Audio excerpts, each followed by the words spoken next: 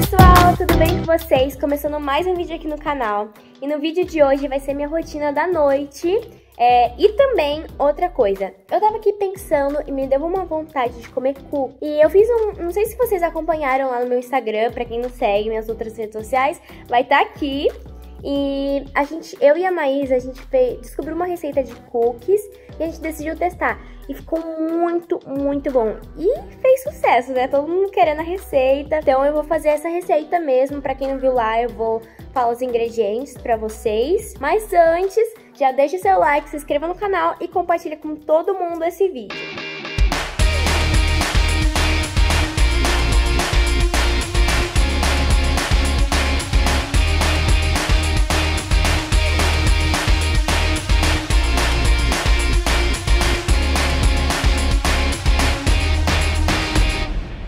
Sabe, eu tava viajando, tava em Andradina. Pra quem acompanha o canal sabe. Aí ontem eu fui no mercado e eu falei, comprei as coisas pra fazer o cookie, né? Os cookies, porque tem umas coisinhas que não tinha em casa. Os ingredientes são 200 gramas de manteiga sem sal, mas eu não tenho sem sal, aqui em casa tem sem sal, então eu vou fazer com sal mesmo.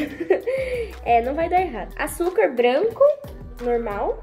Aí açúcar mascavo, que eu comprei aqui no mercado só tinha desse grande aqui, ó, um pacotão de 1 um quilo. Dois ovos grandes, normal. 11 e meia colheres de chá de extrato de baunilha, aquela colherzinha, sabe, de chá que eu vou mostrar pra vocês. 295 gramas de farinha de trigo, uma colher de chá de bicarbonato de sódio, aqui temos uma colher e meia de chá de sal, tá ali, pra mostrar. 270 gramas de gotas ou raspas de chocolate meio amargo. Gente, eu tenho duas barras aqui de chocolate. Uma é o leite e outra é amargo. Então eu vou misturar. Eu só vou cortar mesmo em pedacinhos pequenos a barra e colocar na massa depois. Mas isso é simples, isso eu vou mostrar pra vocês. Mas vamos começar. Peguei aqui o pote da batedeira, que eu vou usar a batedeira, mas se vocês quiserem bater na mão também, é porque eu tô com medo. Da última vez eu fiz com batedeira, e a mãe. Então vamos continuar na batedeira, né? Vai saber se a massa não é adequada pra bater. Mas se vocês quiserem não tiverem batedeira aí na casa de vocês, podem fazer normal, batendo na mão. Tem que ter força, né, no look. Vamos começar colocando a manteiga. Aí, gente, eu vou medir ela tá bom, ó. Eu coloquei só mais um pouquinho. Parece que manteiga, foi quase o potinho inteiro, tava cheio. Então vamos agora ali pra batedeira bater e depois eu mostro o ponto ali de perto pra vocês. Gente, depois que vira essa massinha, tá vendo? Bem consistente, que eu mostrei pra vocês, é, a gente vai colocar os dois açúcares, tá bom? Então vamos despejar aqui agora. Adicionei os dois açúcares, agora... Açúcares, não sei como fala, mas agora vamos continuar batendo. Olha, ficou assim. Então agora a gente vai adicionar os ovos e o extrato de baunilha. Os ovos, dois ovos. Vamos quebrar o próximo. Sempre tem que quebrar antes num potinho, gente, pra ver se não tá estragado ou alguma coisa, mas eles não, eles não estão, ó, eles não estão. Então vamos adicionar ali 11 colheres e meia, 11 e meia, desse daqui, pequenininho. Uma colher. Agora vamos colocar e contar. Gastei mais ou menos metade do, do frasquinho, né? Com essas 11 colheres. Ó, ficou assim, agora vamos bater por uns dois minutos para tirar bem o gosto de ovo.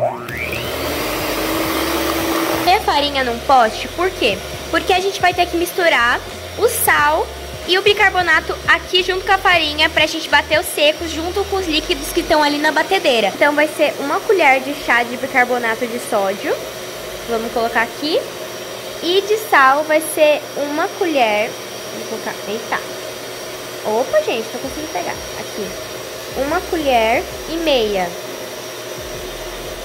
Uma colher e meia de chá. Então, agora a gente vai misturar tudo isso antes de colocar lá na batedeira. Peguei uma colher depois da massa e vou dar uma misturada aqui nos cantinhos, que sempre fica, tá vendo? Ó, tinha ovo aqui. Então, eu vou dar uma misturadinha e depois bater mais um pouco com a batedeira. Aqui é a batedeira. E agora eu vou colocar metade dessa farinha aqui dentro e bater. Depois colocar mais metade e bater até dar o ponto. Gente, talvez precise adicionar um pouco de mais de farinha, mas isso vai do ponto dessa massa. Por exemplo, se você colocou a medida e ainda não deu, aí você pode adicionar mais pouco até dar o ponto que eu vou mostrar daqui a pouco pra vocês. Gente, minha massa não tá nem no ponto, tipo, de jeito nenhum pra cookie. Então, pra tipo de massa mesmo. Então aqui mesmo no saquinho a gente vai adicionar a farinha aos poucos e batendo e vendo a consistência até chegar. Adicionei mais farinha, né, e fui mexendo e já chegou nessa consistência aqui, que eu acho que já tá ótimo. Olha que delícia, gente, parece um sorvete.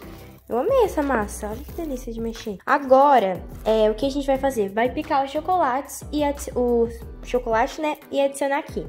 É, lá na casa da minha tia, a gente colocou no no, na geladeira, no freezer, né, pra deixar descansando uns 10 minutinhos, mas sem o chocolate, porque ela era intolerante, então ela tinha que separar a massa.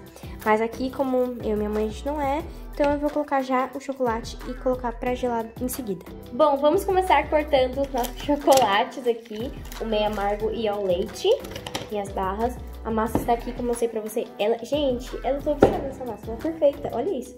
Pra fazer a bolinha do cookie, tá perfeita a massa. Vamos cortar agora os chocolates indicado, né? A gente vai cortar em quadradinho, cubinho, sabe? Não igual que vem aqui. Eita, meu veio fica quebrado, eu vi que eu não quebrei. Então, a gente vai cortar assim, ó. Vai cortar assim, quadradinho, sabe? E cortando no meio, enfim. Aí depois a gente vai jogar tudo ali. Vou terminar de cortar e eu mostro aqui pra vocês.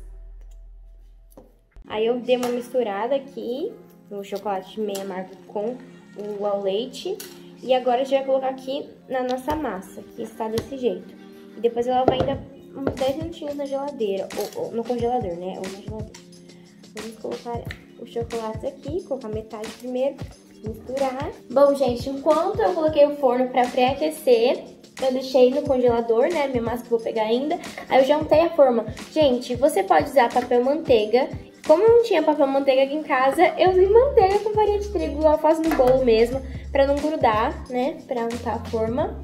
E vamos lá pegar nossa mala, massa, mala, ó, nossa massa que já tá bom. Vamos usar agora pra fazer as bolinhas de uma, essa colher aqui de sorvete, que eu não sei explicar muito bem o nome disso, é negócio de fazer sorvete, se vocês tiverem em casa, mas se não tiver não tem problema.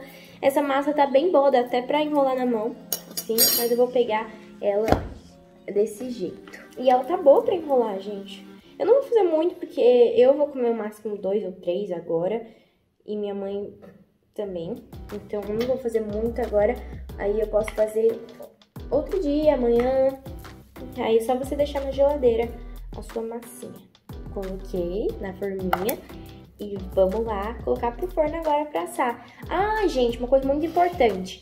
Porque o cookie, é, ele para ficar, não ficar só crocante, para ele ficar também macio por dentro, é, você vai deixar 12 minutos no forno, é o tempo. Aí, quando você vê que tiver douradinho, você pode tirar, mesmo que pareça estar tá meio cru ainda, porque ele vai terminar de assar aqui fora. Então, esse é o segredo pro cookie ficar macio, cro crocante ao mesmo tempo. Então, agora é só a gente ficar de olho e 12 minutos certinho, gente. Não deixa passar, porque senão vai ficar ruim seu... Olha o tanto de massa que sobrou, gente. Então essa massa a gente vai colocar ou no potinho ou deixar aqui mesmo no pote da batedeira. Os que estão assando, tá vendo que eles cresceram? Estão até quase juntando um no outro. Depende de cada forno também, se o seu forno for bem rápido, aí tipo Tipo, se tiver dourado antes dos 12 minutos, aí você pode tirar já. Forno, e como vocês podem ver, ó, tá vendo que tá bem douradinho do lado, assim? Então agora é só a gente deixar descansando, porque ele vai terminar de assar sozinho aqui fora. Então deu os 12 minutos certinho, gente. Agora a melhor parte, que é provar. Eu vou pegar um menor aqui, depois eu vou pros outros. Tem vários aqui. Vamos lá. Um, dois, três e... Nossa, que delícia! Meu Deus, olha essa massa. Sério, olha isso. Como tá fofa. Aqui é um pedacinho. Hum. Hum. Gente do céu, tá perfeita. Eu vou comer isso aqui tudo. Bora, aproveitando que eu tô aqui com meu cookies comendo, nada melhor que assistir um filminho, né, gente? Vou tomar banho, só vou colocar meu pijama mesmo. Então eu vou comer o último pedaço de cookie que eu tô enrolando pra comer esse cookie. Na verdade, minha mãe pegou um pedacinho, aí sobrou. Eu falei, vou terminar pra ela.